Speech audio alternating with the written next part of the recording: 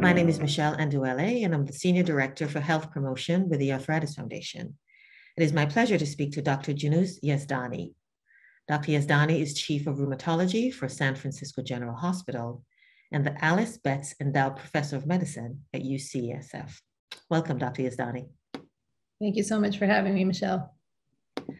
Now, Dr. Yazdany, um, we're getting to the almost two year anniversary for the first documented case of COVID in the United States in January 2020. It is so recent, even though it feels a little bit like a lifetime that we have been uh, dealing with COVID. Uh, for autoimmune patients such as myself, data is really what we're focused on. We're trying to get a better understanding of what the future holds for many of us. So, could you share some of the data around the increased susceptibility to COVID infection for autoimmune patients and those on immunosuppressants? Sure, I'd be really happy to. so we can start at the beginning of the pandemic in um, in Italy, where we know you know one of the very first um, large outbreaks occurred, and the rheumatologists um, in Lombardy, Italy, actually did a really nice study where they surveyed uh, people who had rheumatic diseases and tried to see if the incidence of COVID-19 in people who had rheumatologic conditions was actually, you know, higher or similar to the general population. And what they found in that early study was actually that the incidence was about the same. And so it provided early reassuring data. Since then, we've actually had some larger studies some of them have been across entire countries. So there was, you know, one really nice study from South Korea looking at people going in for their health examinations. And they found that people who had rheumatic diseases did have a slightly higher risk of having COVID 19 compared to the general population controls, but the risk was only slightly higher. So, those are two examples of studies. And in general, studies like those have found that there's either a similar or a slightly higher risk of getting COVID 19 in the first place for people who have rheumatic diseases. I see. Now, the term breakthrough infection is a term that a lot of autoimmune patients are, as you can imagine, concerned about, understanding that there is a potential blunted vaccine response based on our medications. Could you put the breakthrough infections in context? Sure, I'd be happy to. So we have two types of evidence about, you know, susceptibility to breakthrough infections. The first comes from laboratory scientists. And what these investigators have done is actually looked at antibody responses to vaccine in people who have rheumatic diseases and who are on various immunosuppressant drugs. And what they found is that, you know, pretty consistently, certain um, types of drugs seem to decrease the immune response to vaccination. The worst culprit is a drug called rituximab, which depletes the B cells in our body. And you know, we expected that there was going to be a decreased vaccine response, and those laboratory studies really do show that. There's also another group of immunosuppressant medications, um, medications like mycophenolate, and also even prednisone seem to decrease this antibody response. So that's the evidence from the laboratory. But what about in the real world? Because sometimes laboratory data isn't what actually happens in real life. And what we've done with um, our group and the Global Rheumatology Alliance, which is really a group of rheumatologists who have been collecting clinical data during the pandemic, is record cases of breakthrough infections in people who are fully vaccinated to understand, you know, who, who are the people that are getting serious breakthrough infections.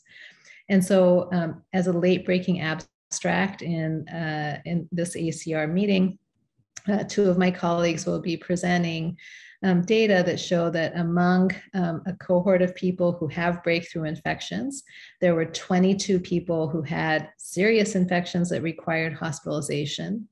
And actually, over half of them were taking either rituximab or a drug called mycophenolate it actually looked like people who were taking other types of drugs. For example, a lot of people wonder about anti-TNF biologics. Um, you know, those people largely actually weren't hospitalized if they had a breakthrough infection. So I think what we know so far from the laboratory data and then also this real world data is that there are certain drugs including drugs that deplete B cells like rituximab and immunosuppressant drugs like mycophenolate that put people at higher risk for breakthrough infections. And what this means clinically is that it is really important for those groups of people to get a booster vaccination um, and also to let their doctors know right away if they become infected with COVID 19, because we now have actually wonderful therapies that can help dis- disease from progressing. That includes the monoclonal antibodies, which can be given as post exposure prophylaxis or for treatment of early infections. And there's also an oral antiviral um, that's been making headline news that should hopefully become available soon. Uh, but it does require that people let their doctors know right away because a lot of these therapies work best if they're given early. That is really good news, um, Dr. Yazdany. Thank you so much for sharing that. It really gives us a, a sense of comfort for me as an autoimmune patient knowing um, some of that data. So let's talk a little bit about outcomes. So for those who are infected, who may end up hospitalized or with severe illness, what is the data showing in terms of recovery? Yeah, so the good news is that actually most people, even people who are heavily uh, immunosuppressed, actually do recover from, from COVID-19. Um, but let's talk about, you know, who is not doing as well. And what we've done to try to answer this question is actually collect data from rheumatologists around the world um, using, you know, basically like a case reporting mechanism and a registry. And over the last, you know, year and a half, rheumatologists around the world have just really enthusiastically participated in this Global Rheumatology Alliance registry we have 21,000 cases of people with rheumatic disease who have had COVID 19 with detailed clinical information. It's a very um, incredible data source that really was just crowdsourced data collection during the pandemic.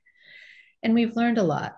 Um, maybe the, the most important thing is that you know, there are some patients that look like they're more likely to be hospitalized, mechanically ventilated, and unfortunately die from COVID 19. And again, that drug called rituximab, which depletes B cells in the body, appears to be a culprit. We found a fourfold higher odds of severe outcomes in people who were taking that medication.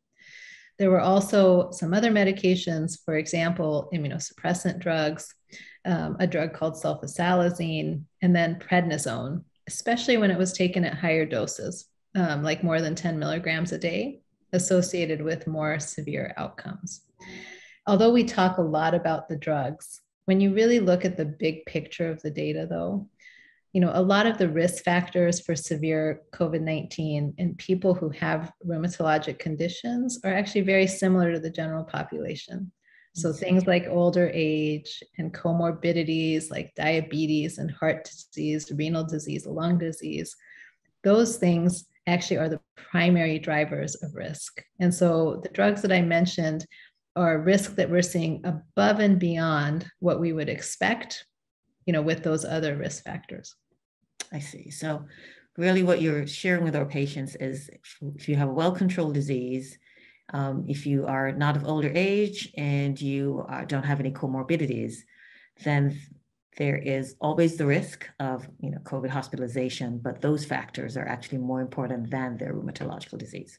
Yeah, that's exactly right. That's exactly right. And you know, one other thing that I didn't say is that you know the data are very clear that having you know, good control of the rheumatologic condition is associated with better outcomes. Um, it's an interesting finding, and I think it just really emphasizes how important it is for people to get regular care and make sure they have access to care during the pandemic.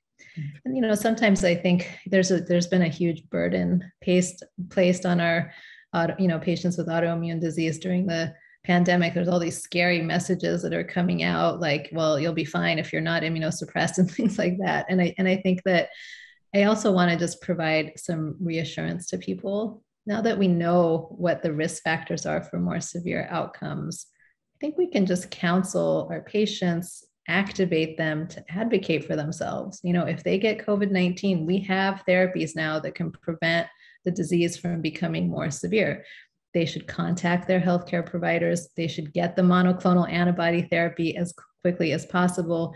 We have this oral antiviral on the horizon. The booster vaccines will help. So it's not, you know, um, a dire situation, but we do need to make sure that we protect people that are vulnerable.